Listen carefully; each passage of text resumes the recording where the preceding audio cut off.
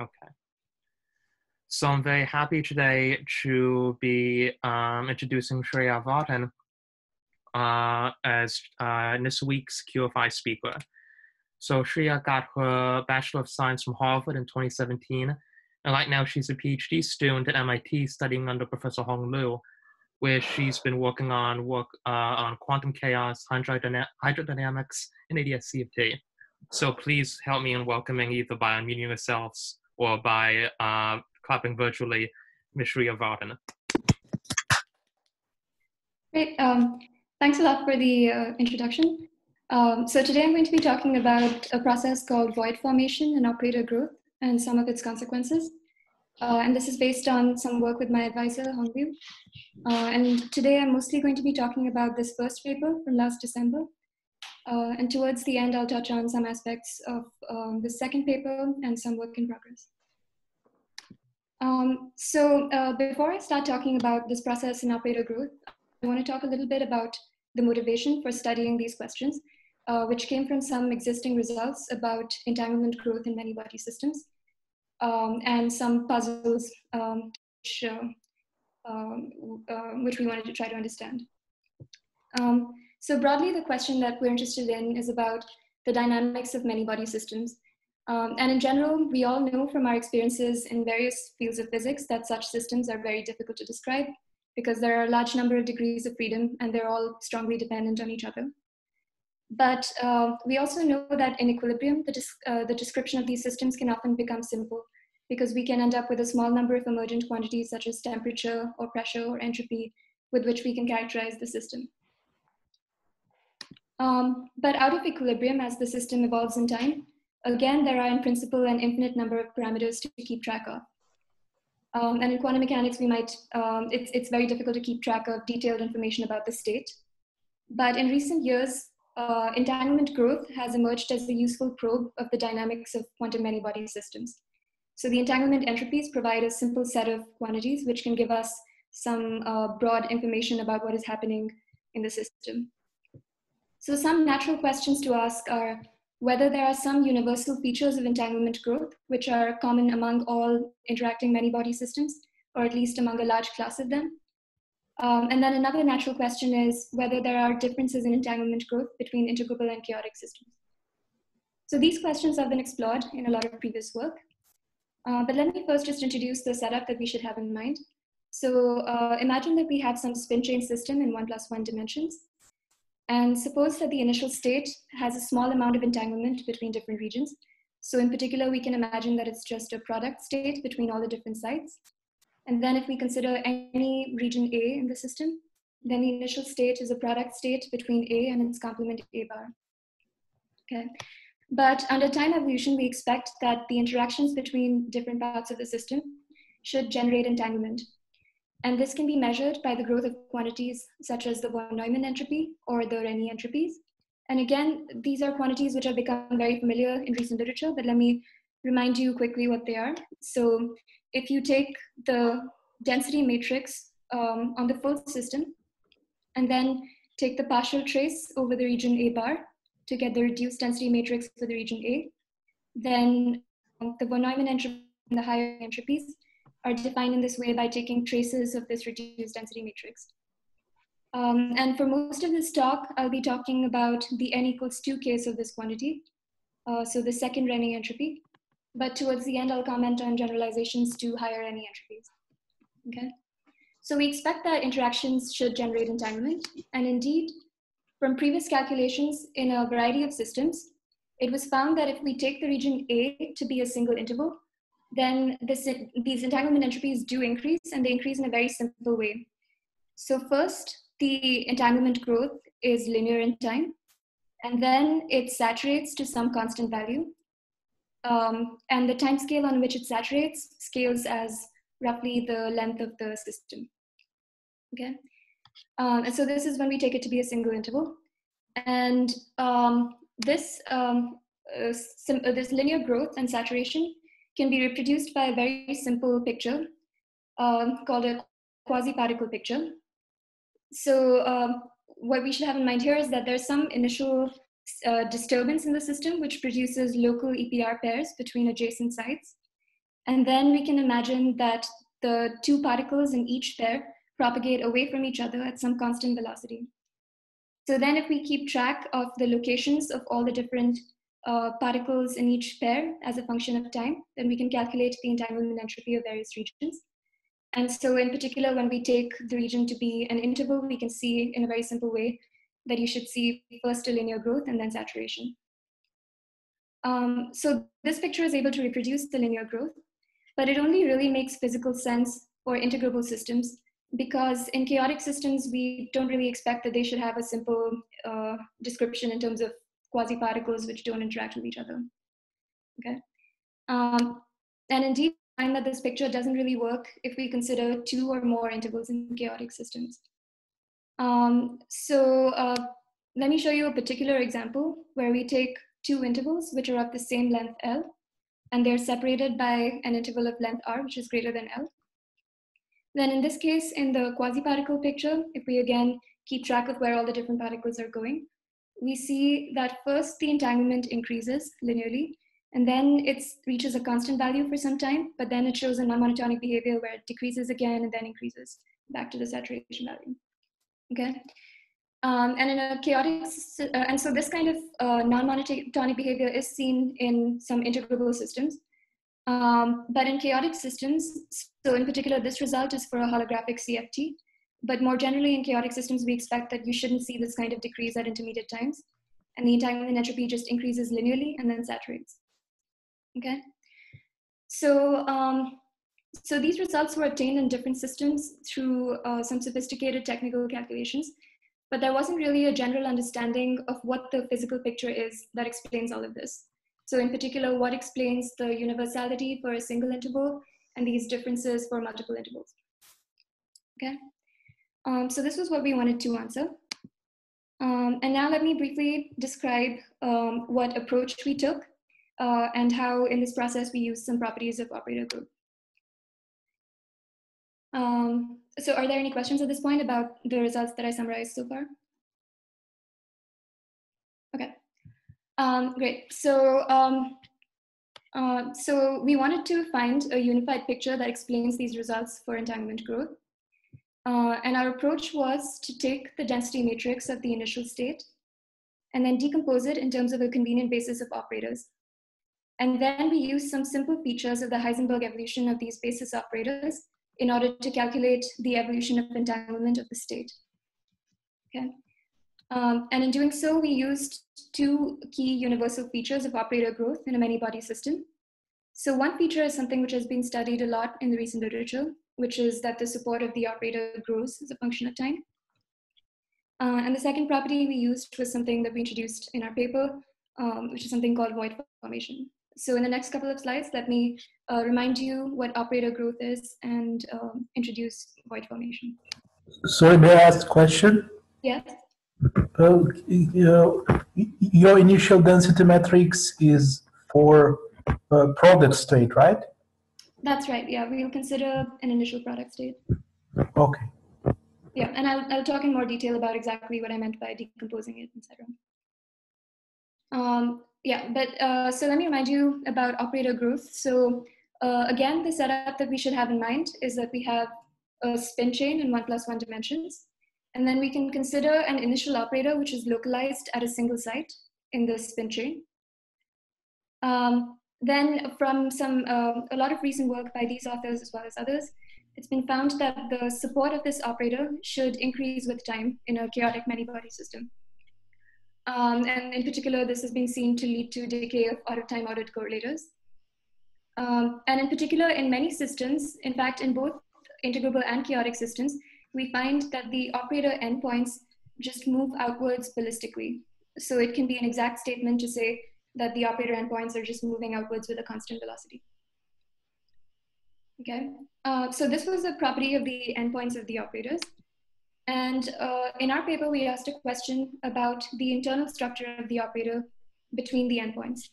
Um, so in particular, we asked if we consider some region A between the endpoints of the time evolved operator, then is there some probability that the time evolved operator is equal to the identity in that region? Okay. Um, so if it is, if there is some probability of this happening, then we say that there is a non-zero probability of void formation. So let me define this more precisely. Um, at any time t, with respect to any region A, we can write the time evolved operator, O of t, as a sum of two parts. Um, so we can write this part O1 of t, which is equal to the identity in A, and it can be something non-trivial in A bar. Um, and we some O2 of t, which is orthogonal to the identity in the region A. And then we say that um, if uh, we can always do this decomposition, and if we find some uh, non-zero O1 part on doing that, then we say that um, um, we refer to this as void formation in the region A. Uh, and then we can associate a probability to this process by defining an inner product in operator space, uh, which is analogous to the usual inner product uh, in state space. So we define this for two operators OA and OB by finding the trace of OB dagger times OA. And then with this inner product, we can define the probability of void formation of the operator O in the region A, just the norm of this O1 part, which has the void, divided by the norm of the full operator. Okay. Um, so because we had this picture that uh, in chaotic systems, the support of operators tends to grow. We should expect this probability to be small at late times. Uh, but we find that in any many body system, even if the void formation probability from individual operators is small, um, such processes have some important consequences. So one important consequence is that it ensures the unitarity of entanglement growth, and I'll explain in a lot of detail what this means. Um, and such processes are also use, uh, are also the mechanism by which multipartite entanglement is generated between disjoint regions. Um, and um, understanding the void formation probabilities in different kinds of systems will help explain differences in entanglement growth between integrable and chaotic systems that I mentioned earlier. Um, so this was a brief introduction to the different properties of operator growth. Are there any questions at this point? Okay. Um, great. So um, now let me, uh, in the next couple of slides, I'll essentially be building the tools with which we'll see um, all of the results in the rest of the talk. So uh, we're going to understand how to relate operator growth and entanglement growth so that we can see why um, void formation leads to certain properties of entanglement growth. Um, so um, we can define a probability of transition from any initial operator to any final operator at time t by using the same inner product that I mentioned before. Um, and this is defined very analogously to transition probability between states. So uh, we evolve the ROI uh, up to time t, and then take its inner product with the operator OF, um, and take the absolute value squared and divide by the norm. And um, the second Renyi entropy can be related to these operator growth probabilities for a certain set of initial and final operators. Um, so uh, let me show you how this is done. So for concreteness, consider that we have an initial pure product state in the system and say that it's a product of the same state psi between all the different sites.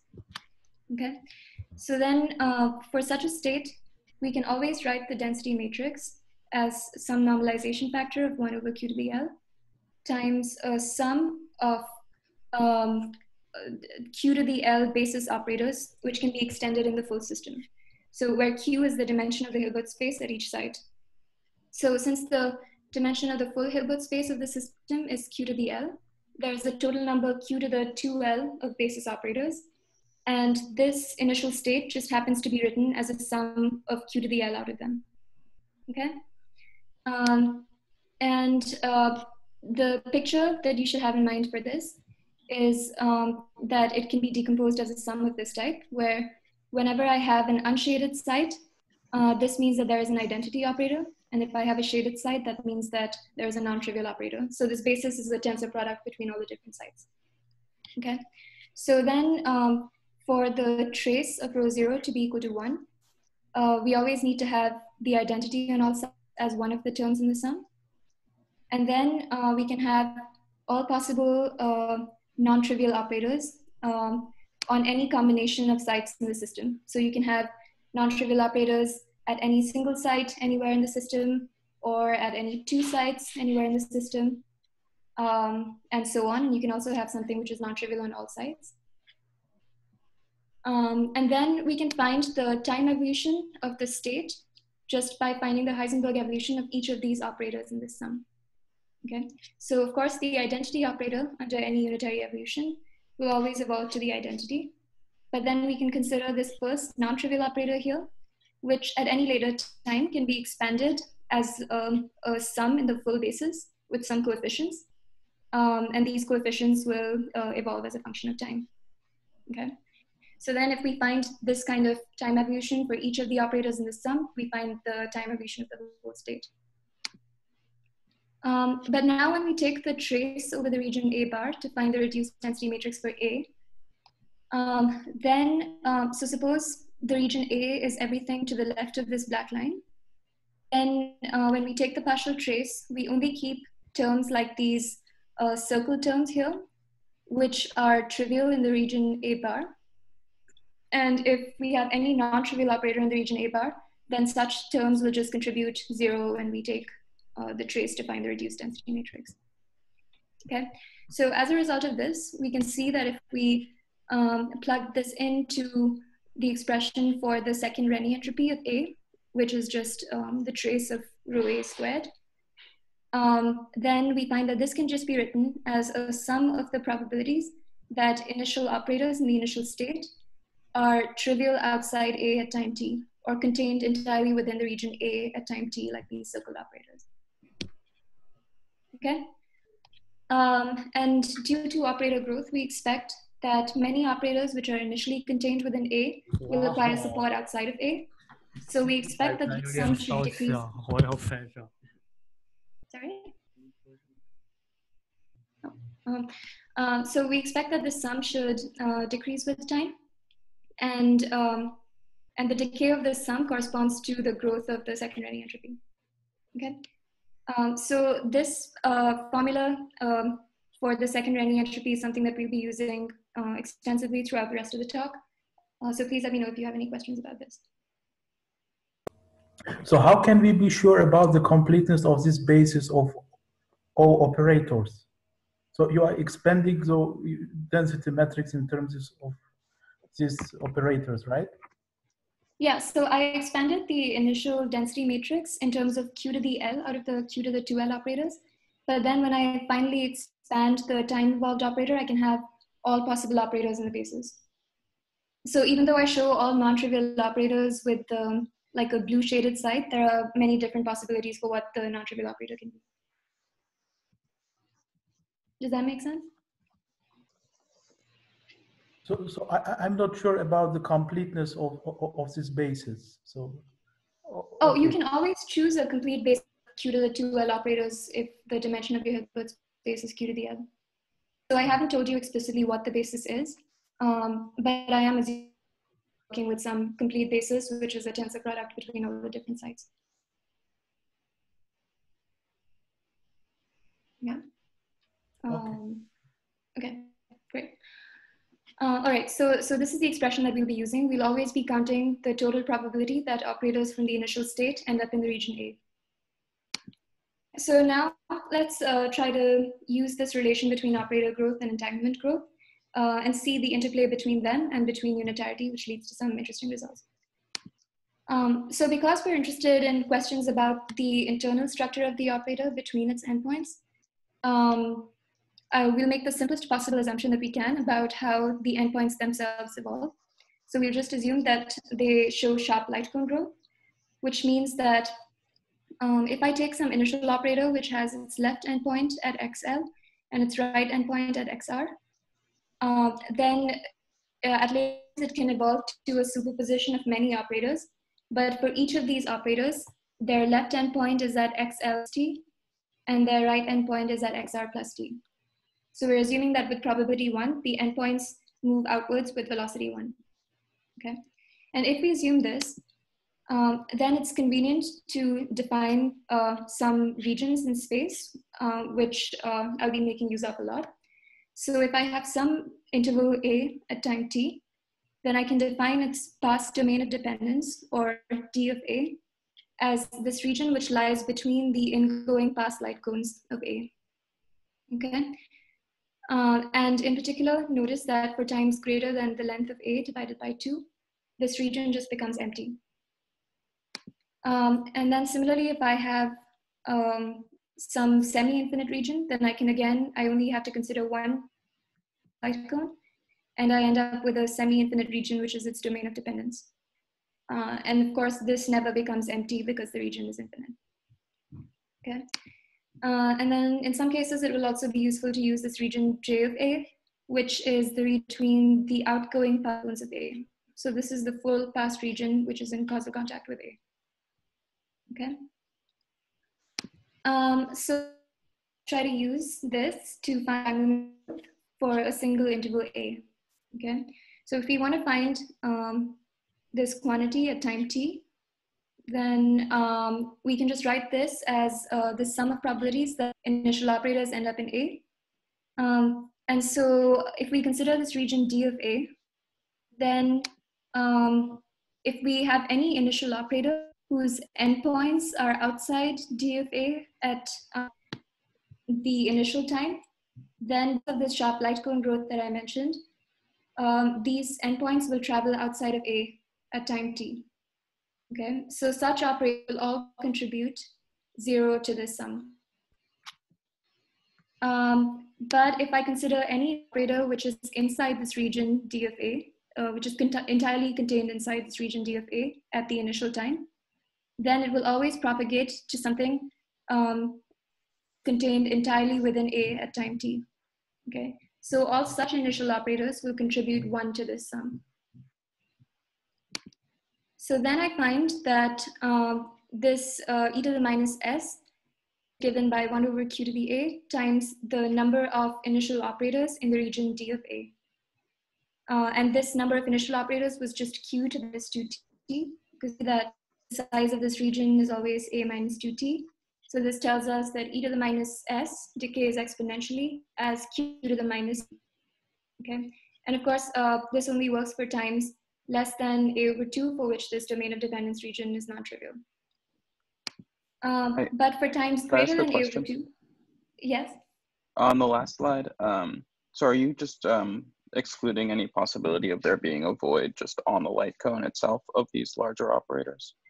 Yes, we, we are, yeah. So that's an assumption that we make endpoints that you don't have, you can only have a void between the endpoints. But uh, themselves always travel with um, uh, probability one with velocity one. And then this is assumption is just because you see this kind of thing in most models you study? Yes, or? exactly. Yeah. Uh, so in, we considered three different models, um, two of which were integrable and one of which was chaotic, and in all of these we see.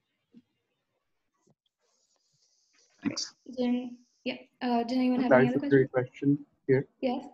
Uh, so you're assuming locality of the interaction of the Hamiltonian in the whole discussion until now, right? Yes, definitely, because um, otherwise there would be no reason why the operators would only propagate uh, with some velocity uh, and not just really non-local. So yes, this is all for a system with local interactions. And in fact, we're assuming that uh, the interactions are very strictly local. So we can imagine that we have something like a circuit so that, um, for example, this region doesn't affect anything outside of its light cone. Um, so that's a sort of simplifying we make everywhere. Mm -hmm. Are there any other questions? Okay. Um, so for times greater than a over 2, um, as I mentioned earlier, this domain of dependence region just becomes empty. Um, and then, uh, so this is telling us that if we have any non-trivial initial operator, it will necessarily become non-trivial outside A. Uh, so even if I have a single operator, which is a point uh, at the center of A, then this will propagate to something which doesn't remain contained in A at time t. Um, and, uh, but of course, the identity operator always evolves to the identity, and that can be seen as being within any region. And so that will always uh, contribute one to that sum here, right? So um, this tells us that for times greater than a over two, uh, the entanglement entropy is just always equal to one over q to the a. Okay. Um, and of course, this was exactly the behavior that I showed you before, uh, was seen in many integrable and chaotic systems. Um, and in a number of systems that we studied, we verified that this um, sharp light cone growth of operators is the reason why the entanglement grows linearly. So unlike the quasi-particle picture, um, this is an explanation for linear growth which works for both integrable and chaotic systems. Um, and, okay, so now suppose we wanted to apply the same reasoning to find uh, the entanglement growth for the complement of a finite interval in the system. So if we wanted to find the entanglement A bar, which is the union of the semi-infinite region B1 and the semi-infinite region B2. Um, so here we again want to use the same formula. And uh, if we apply reasoning to before, then we might argue that, um, again, initial operators from the region D of B1, union D of B2 should contribute because we can see that they end up inside B with probability one. Um, so then from this reasoning, we would again with q to the minus 2t. Um, but now because B1 and B2 are infinite, these D of B1 and D of B2 regions never become empty. So it seems that the entanglement entropy of A bar just continues to increase like 2t log q for all times, okay? So what we seem to have found is that the entanglement entropy for A increases and then saturates for times greater than A over 2, but the entanglement entropy for A bar just continues linearly for all times. But this is a problem because um, our initial state was a pure state on the full system. And let me remind you of two facts. So under unitary evolution, states evolve to pure states. And for any pure state, the entanglement entropy of A should be equal to that of A bar. Okay. Um, but from the above result, the entanglement entropy of A is very different from that of A bar for times greater than A over 2. So this is a contradiction. Um, and this means that we should examine our derivation of the entanglement entropy of A bar a little more closely. Um, okay, so in what we did, we implicitly assumed that um, any initial operator which is not contained with the, within these domains of dependence will necessarily become non-trivial in A at time t. Uh, so we were always assuming processes like these have to take place with probability one. Um, but in fact, such operators can become equal to, um, uh, can become trivial in A if they fall in between their endpoints. Okay, so if a process like this occurs. So we take into account the non-zero probability of such processes. Um, and in order to do so, it's useful to define a function g of a ct, which is the sum of probabilities that initial operators in the initial state, which are contained within a particular region C, become trivial in A at time t. Okay, so then function, if we do the counting more carefully, we find that the uh, e to the minus s for A bar is equal to this factor of q to the minus 2t, which we got from the domains of dependence, uh, times this factor g of a jat. Uh, so j of a region, let me remind you, was just the region in causal contact with A in the past. And uh, by uh, including the, we take account all processes of void formation from operators in J of A. Okay. Um, are there any questions about this? Okay, so now when we include this factor, um, then we find that from unity, um, we require that e to the minus s for A should be equal to that of A bar. Um, and that gives us this constraint on uh, one, sorry, um, that it has to be one for times less than a over two. Um, and it has to be greater than one and more precisely equal to q to the 2t minus a for times greater than a over 2. And uh, I mentioned that there are both integrable and chaotic systems with the property of sharp light cone and this has to be a universal constraint for both of them. Um, and uh, so when this quantity is just equal to one, this constraint comes from the identity operator. Okay, so in this situation, there are no operators in the region J of A which are forming voids.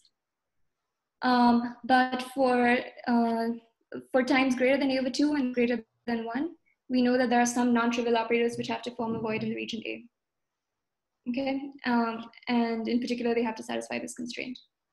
Um, so, so let me just remind you that even though we expected that the probability is small, um, if we ignored it completely, then um, uh, we find these very large violations of unitarity important to take into account. Okay, as far as what we did so far, uh, our only input is that sharp light cone growth of the points of the operators. And from this, um, we obtained the entanglement for a single interval. And then we used the fact that we want our time to be unitary, which puts a constraint on entanglement. That derive a universal constraint on a different property of operator growth, which is the probability of void formation in the region in some interval. Okay, and now we can extend this reasoning to more intervals. So uh, one thing that we can do is we can use, again, the relation between operator growth and entanglement growth to see that because of this universal constraint on void formation, the results for entanglement growth for two finite intervals are universal in a certain regime. Okay. And uh, we can also derive further universal constraints on the void formation probabilities by using um, the fact that the entanglement entropy of A has to be equal to that of A bar. So we can um, consider the, the, cases where A consists of multiple intervals, and then we find we continue to find further non-trivial constraints. So we wrote down some examples for the n equals two case uh, in the paper, and in principle you can continue doing this for more intervals. Okay, so are there any questions about what we did so far? Okay, um, so let me give you um, just an example of how you can see that the entanglement growth for two intervals becomes universal. Um, so uh, now consider two finite intervals, A1 and A2, and we're interested in computing the union. Uh, and again, we use the same formula. So we want to find the total number of operators which end up in A1 union A2. Um, so when we calculate this, we end up with a factor which comes from the number of operators in these initial domains of dependence. And um, any initial operator which lies within this region J, we can see that its endpoints would necessarily propagate to inside A1 and A2, particular choices of the parameter values in the time. So, uh, so then um, we end up getting a factor from void formation, which is just G of R JR includes from all possible operators inside this J of R region. But uh, we found that this quantity G of R JRT uh, is just equal to Q to the 2T minus R in all systems with sharp light cone growth from the universal constraint that we just obtained. Um, so we can see that in all systems with the sharp light cone growth property, the two interval result has to be the same uh, for this particular range of times that we considered. And in fact, we can, um, yeah, uh, we can continue, um, uh, we can uh, extend this reasoning to see that um, it has to be universal for times in this wider, um, in all systems which are previously observed that for such times, the results for two intervals are universal among all two-dimensional CFTs.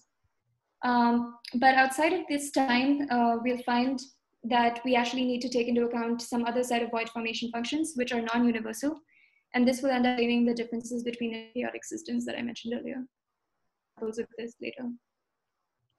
Okay, great. Uh, so far we talked about features which result from unitarity. Uh, and now let me talk about another universal feature which has to do with the generation of multipartite entanglement. So let's return to this case um, of the complement of a certain uh, finite interval A, then we can try to calculate the mutual information between these semi-infinite regions B1 and B2. Uh, so we can define a second Renyi version of the mutual information, which is just um, the sum of the mutual information of the individual regions minus the, sorry, it's the sum of the entropies of the individuals minus the uh, entanglement entropy of the union. So this is something that we just computed before. And uh, in this quantity, we took into uh, void formation but um, void formation process not contribute to the entanglement entropies of the regions B1 and B2, right? And we can see this because if um, an operator forms a void, then it ends up in both B1 and B2. So it doesn't contribute to the entanglement entropies of any individual one of these regions. Okay. The only initial operators uh, due to the entanglement entropy of B1 are the ones which lie in the domain of dependence of B1. And then from similar reasoning as before, we can see that this quantity will just decay like q to the minus t at all times. Um, so when we put this into the for the mutual information, we find that that is just by the log of the problem of the void formation function from A.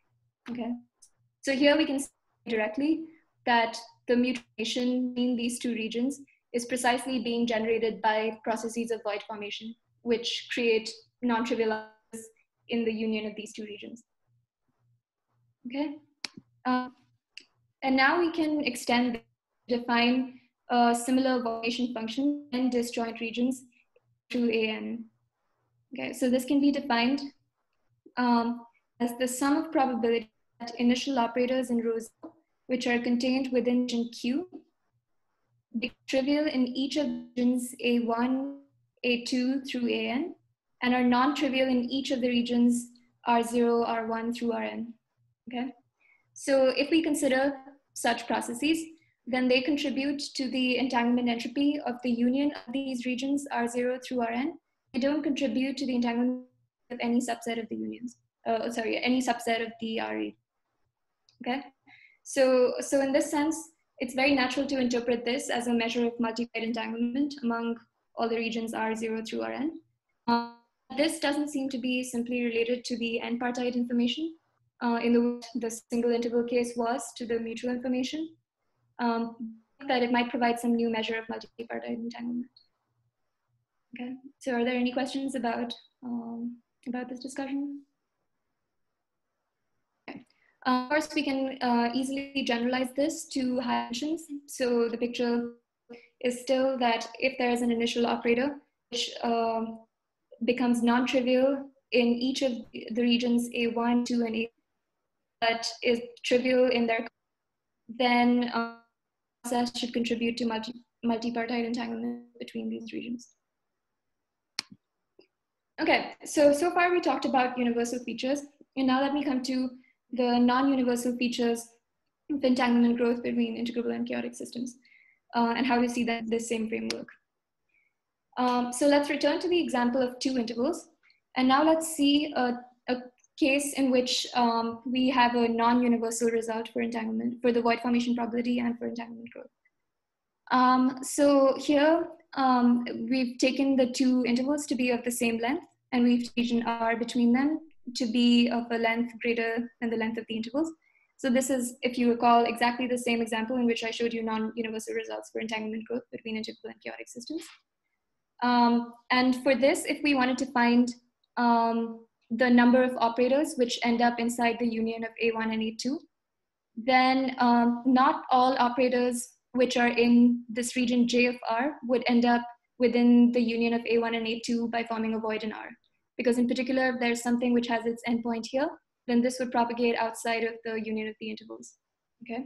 So need to consider restricted void formation function G of R CT, where uh, C is this region, and it's not equal to J.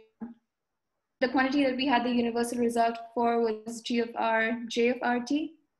So, um, so, so this can in principle be different between different systems, and it does turn out to be very.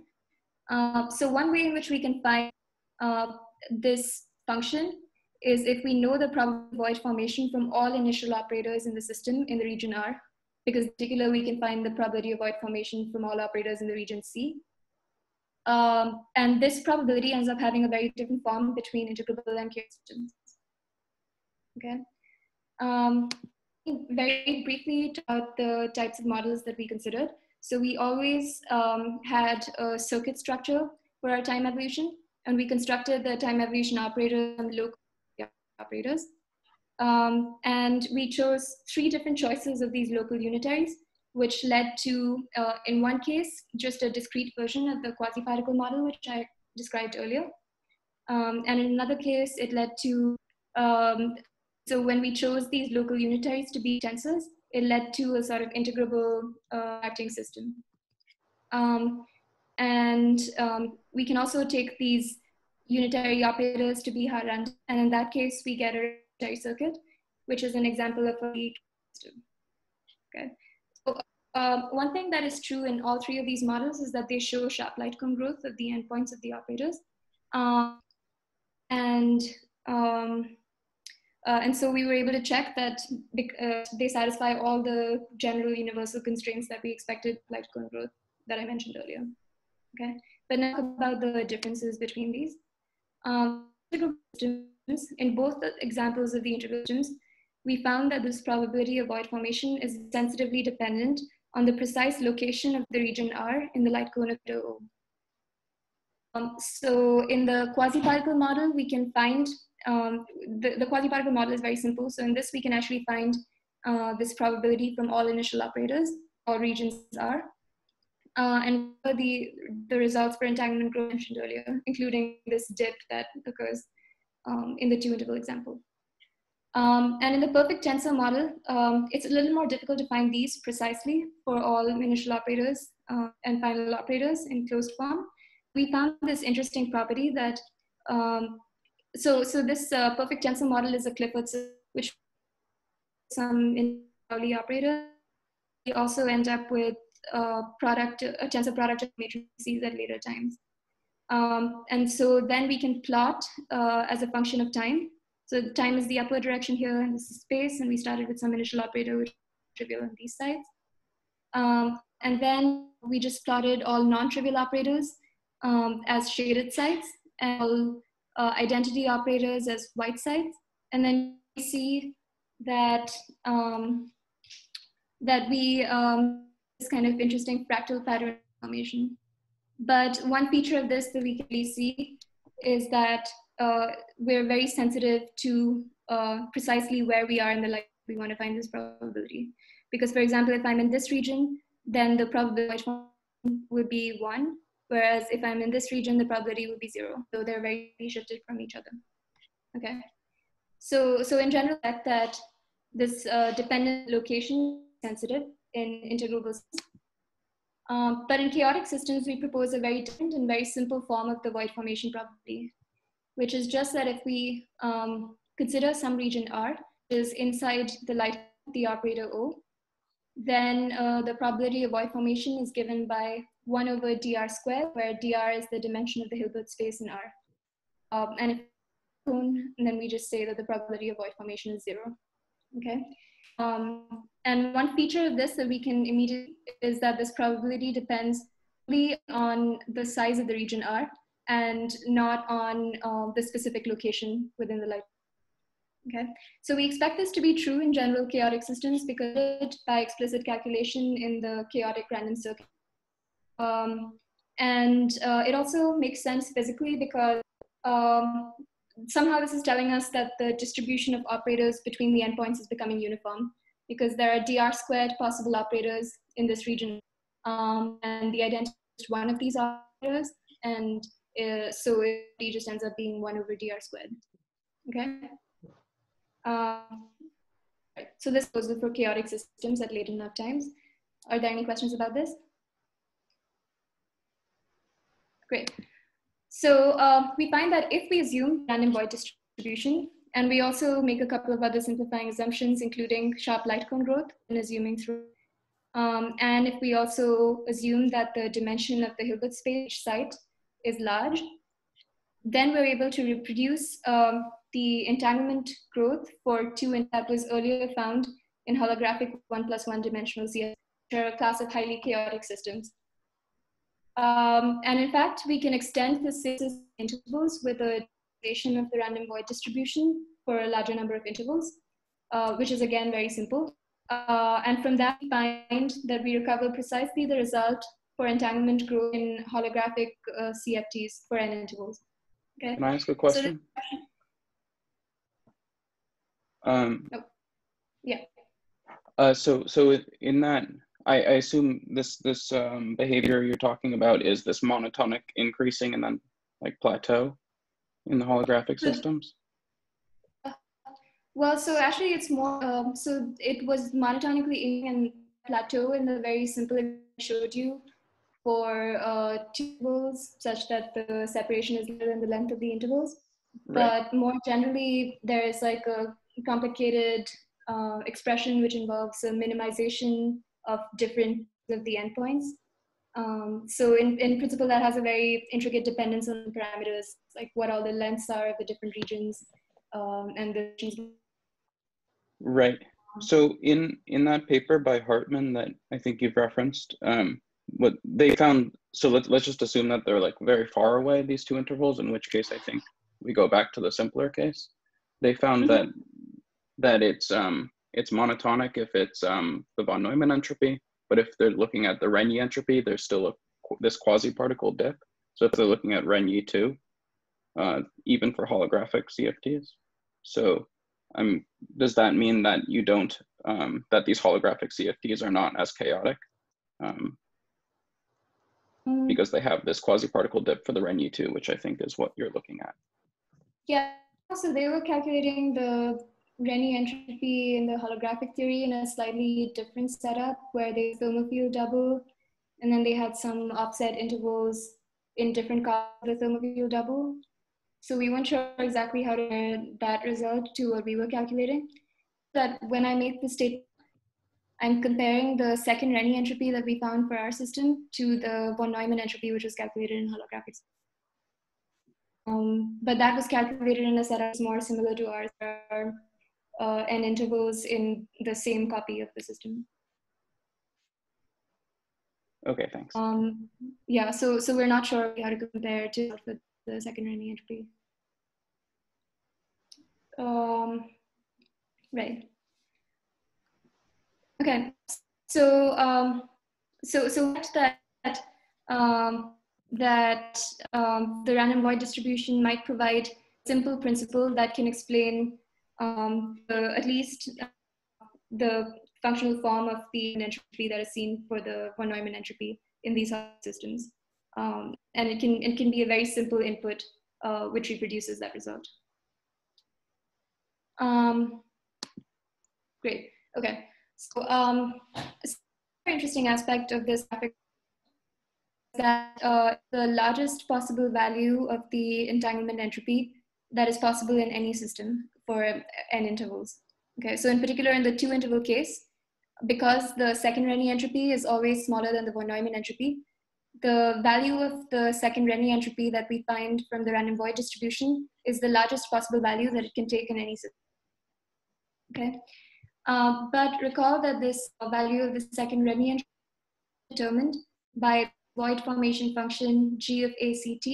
Uh, so the sum of probabilities that initial operators in region C are trivial in the region A at time t. Um, for, and, and so if we know this function for all possible regions C, then we can relate it to the entanglement entropy for um, different um, sets of intervals. Okay, um, but um, so so if you combine these two facts, then you find that uh, for uh, for any regions uh, A and C uh, in the system, um, this uh, function has to be, uh, for in any region, this has to take a value that is larger than the value that is obtained from the random void distribution, um, which is um, uh, which is given by this. but somehow, so this is telling us that from any individual region, the random void distribution minimizes the amount of void formation um, uh, that and it gives the minimal possible amount of void formation that can be consistent with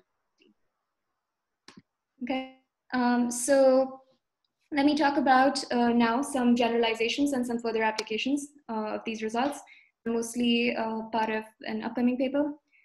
Uh, so for a single interval uh, i talked mostly about the second renyi entropy so far but it's also possible to show that for higher n the nth renyi entropy um, also has to have the same linear growth and saturation form that we found um, for the second Renyi entropy.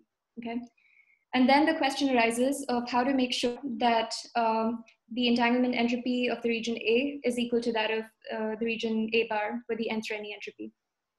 Um, so we found one sufficient um, property of operator growth which can ensure this, um, which was also the realization of random void distribution to higher n. So now we need to consider some generalization of the probability n, and uh, this one is the one that we propose. Um, so again, we um, decompose this O as a sum of O1 of t, 2 of t, um, where this O1 part has a void in A. And then uh, we look at the trace of O1 to the power of n divided by the trace of O to the power of n. Um, and this ends up being equal to 1 over dA to the 2n minus 1 for times um, greater than a over 2 when the region A is in the light cone of O, um, and uh, it's equal to zero otherwise. So um, of course, if we put n equal to two in this, we just get back the random void distribution. Um, um, and, and what we find in random unitary circuits for higher n.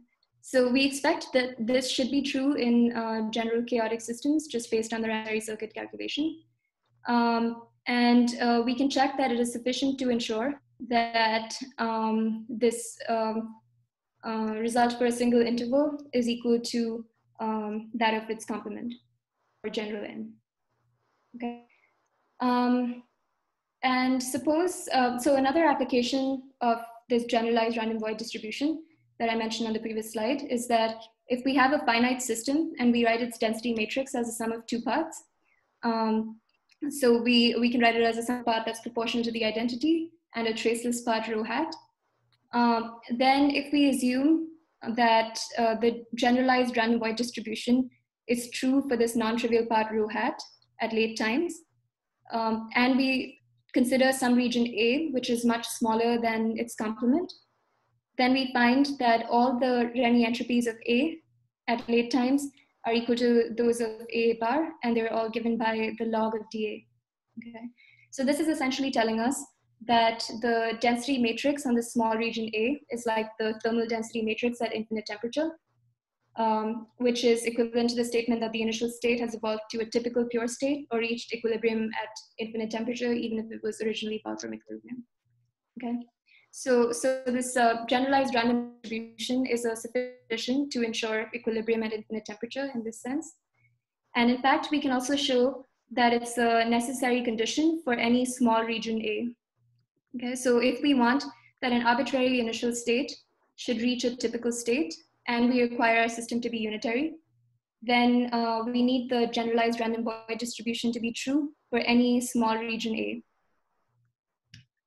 Okay.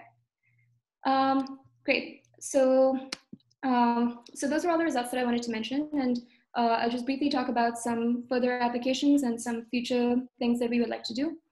Um, so we also used similar ideas to understand um, another famous conflict with unitarity called the black hole information paradox.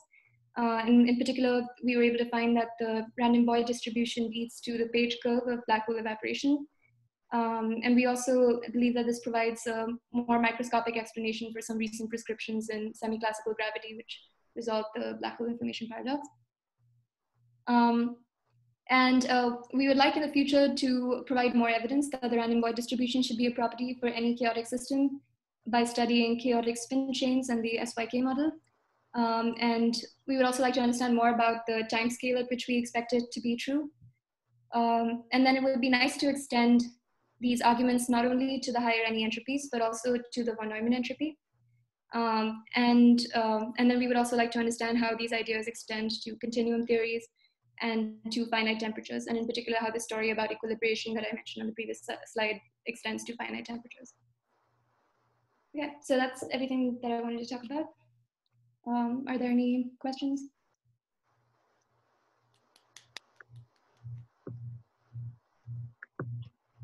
So if anyone has any questions, just please unmute yourself. So uh, I have two questions. First, so there's um, you say this this works for generic chaotic system. Did you consider systems with conservation law? And no, we didn't, and we expect that it should be modified um, in systems with con conservation laws. But we expect that even in systems without conservation, uh, sorry, even in systems with conservation laws, um, like if there's energy conservation, for instance, then we expect that maybe this whole picture should still apply to infinite temperatures initial states. About finite temperature, or like let's consider system with U1 conservation law and like uh, with finite polarization. How does this work? This yeah, so this should uh, so we would definitely need to consider a slightly different uh, quantity from the one that I mentioned. Um, so so instead of so we would have to potentially define a void in a different way in such theories, um, like maybe something more like the thermal density matrix uh, or the uh, the density matrix corresponding to equilibration in the charge system. Uh, but we don't fully understand exactly how to modify this for those systems. Okay, the second question I have is, you mentioned this perfect tensor network. So it's a Clifford, it's a special Clifford circuit. Yeah. So I remember for Clifford circuit, the operator dynamics is kind of trivial, right? You start with any like, uh, let's say, Pauli operator. There's no, Mhm. it's always become another Pauli string operator. There's like operator dynamics is kind of trivial over there, right? Right. Yeah. So um, yeah. So at every future time, what we're plotting is exactly the Pauli operator that you get at a later time, and we're just plotting um, the um, any non-trivial operator with black and any uh, trivial oper- and the identity operator with white. But uh, you can see that there's already a non-trivial structure of where voids are formed and where they're not, and you can see that um, that you get non-trivial growth of entanglement in these systems, which is different from both of these other models.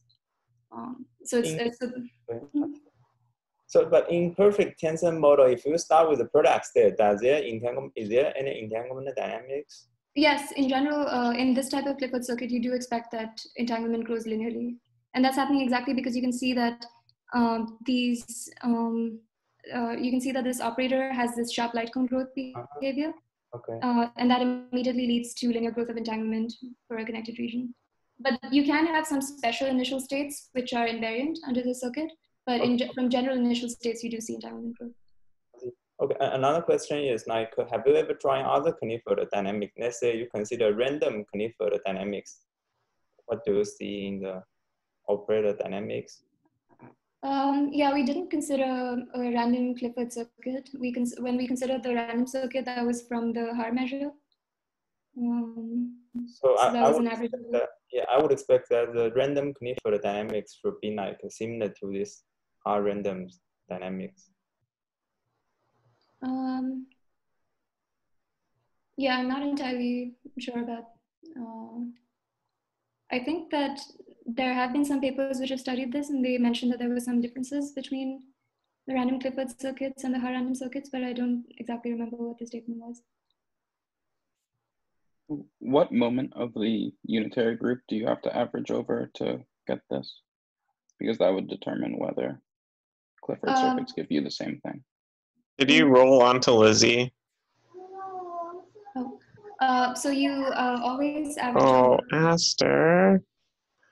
Um, so so you always have uh, uh, four. No. So you have a u times u star times u times u star. So it's like the second moment um, for the second Renyi entropy. But uh, but then this result. Um, oops. Um, the higher end result depends on um, the nth moment essentially.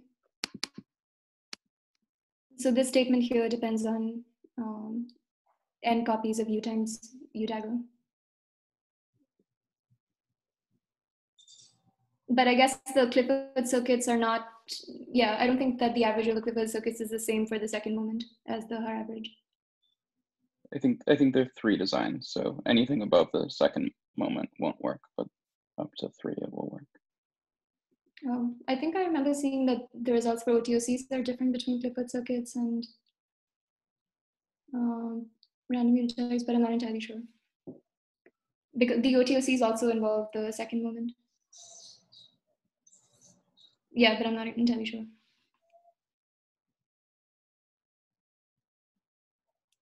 Okay. Any other questions?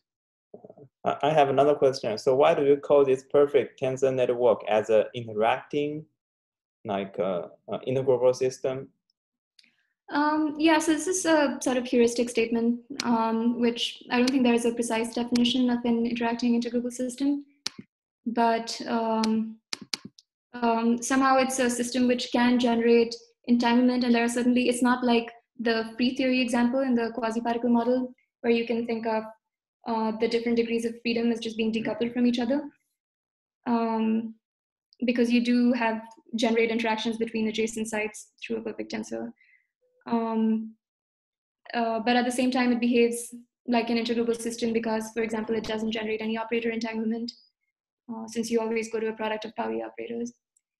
Um, so it can be seen as something in between this free theory and the highly chaotic random unitary circuits. So have you tried like to introduce some like a small amount of random like a Clifford gate and see how that this fractal structure changes with the time? Um, no, we didn't try doing that, but that would be an interesting question.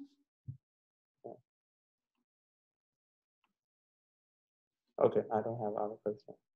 Um, I had a question. Uh, hi Shreya, thanks for the nice talk. Yeah. Um, uh, could you comment on like how easy or difficult it would be to extend this analysis to like uh, an initial condition which was entangled, like let's say in um, distant Um, parts of the system? Oh yeah, yeah. So that's a good question. So, um, so what I wasn't telling you that implicitly in um, this quasi-particle model, I was starting with an initial state which had short-range entanglement between adjacent sites. Um, so this whole thing that we did relies on writing. Uh, um,